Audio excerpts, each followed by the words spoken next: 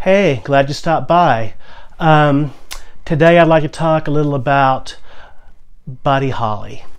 Um, I remember it was the early 80s. Um, this was long before DVR and even before VHS and and renting movies and they would just show movies on TV with the cussing cut out and all that.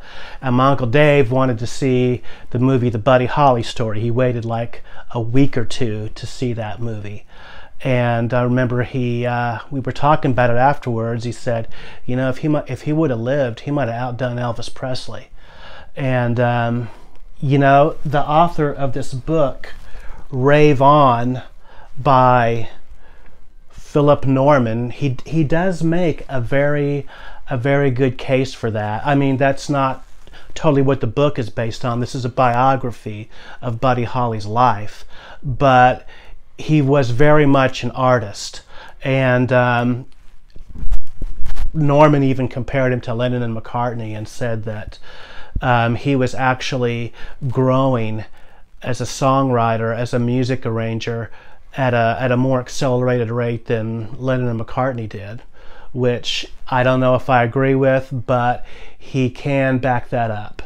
And now you may have heard of Philip Norman's other book, his 1981 biography, The Beatles Shout and Their Generation, which has been known as the definitive biography of the Beatles um, in about 1996 or 95, something like that, this book came out, the first really um, Im- important biography of Buddy Holly, and and so far the definitive biography. Um, and a lot like Colin Escott's biography of Hank Williams, in which he was lucky enough to talk to band members of Williams who were still alive. Um, Philip Norman was able to talk to, to guys who played with with uh, Buddy Holly, like the fellow Crickets, like Waylon Jennings, people like that who are who are gone now. He talked to um, his his widow Elena, who is still alive, um, to Peggy Sue, who Peggy Sue Gerron, who unfortunately we lost just last year, and let me tell you, I feel blue. But um, this is just, it's got some great stories in here. Some great stories. I mean, um, he inviting little Richard to your house for dinner. I mean, and uh, his dad actually believed in segregation and everything. Buddy Holly's dad, L.O. Holly, didn't want to let little Richard in the house, and Buddy said, "You don't let him in, I'm never stepping foot in here again." And so they made a compromise where they had an outdoor barbecue.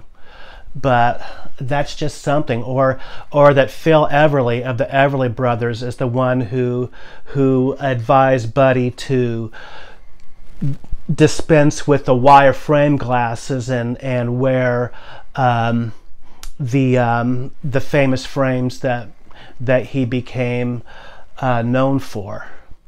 And um, and it's really interesting. The song "That'll Be the Day." If you didn't know, it was inspired by a phrase that John Wayne used over and over again in the movie The Searchers. And there was a group in the '60s from England called the Searchers which went back to that movie and Buddy Holly.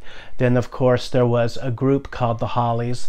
I once heard an interview with, uh, I think it was Graham Nash on NPR, and she was asking him, why didn't you call your band like, say, the Elvises or something like that? And he said, well, you know, um, Buddy was one of us. He was just a regular, average guy and he proved that a regular average guy with glasses even my daughter said he looked a little he looks a little like a nerd but that nerd can play rock and roll. Anybody can, and you do, and well, you're going to get the women too, because uh, from reading this, and it, and it's not sensationalistic, but around 19 or 20 at that age, yes, Buddy was just as experienced or getting experienced as any other young man at that age. Um, where was I? Um, so I, I highly, highly recommend this book. Um, and oh, cannot forget the the main group, the one you all know, who was influenced by the Crickets, was started out as a uh, skiffle group from Liverpool, England. Um, whose leader, John Lennon, at that time was the leader, wanted to um, name his group after an insect, just like the crickets. So, um, actually, it was an art school friend of his, Stu Sutcliffe, who came up with the name Beatles. And then they, of course, made the B E A T to go with beat music. And you probably knew about that. But, um, and we take it for granted that so many bands today are influenced by the Beatles, but there wouldn't have been a Beatles or anything like that if there had not been a Buddy Holly. And um, I think I ought to, I ought to just, um, I think I ought to play some music is what I think I ought to do. And this is an excellent this was made like kind of uh, to cash in on the Buddy Holly story and all the the Buddy Holly um, comeback and everything in the late 70s called Buddy Holly and the Crickets 20 Golden Greats. And I'm going to play the song that started the whole revolution.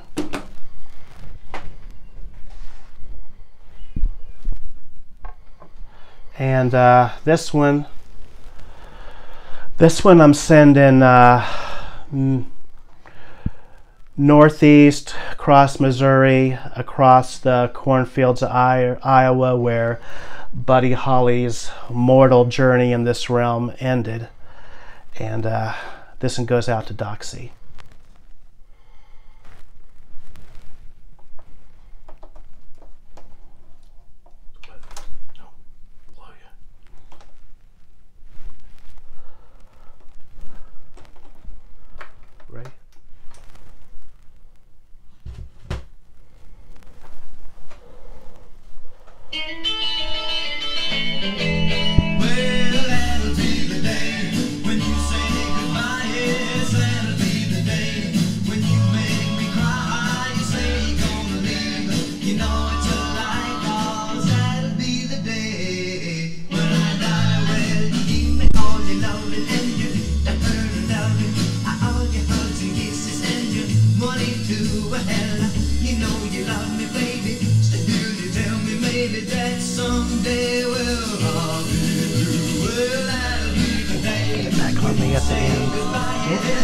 say one thing. At the...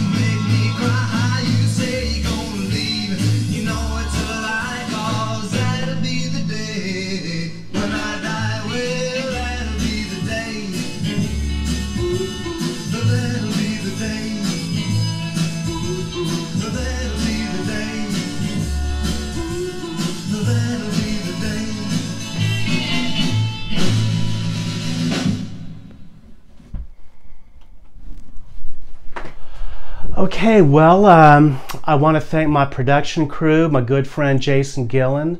I'm Jeff Guy, and I'll see you later.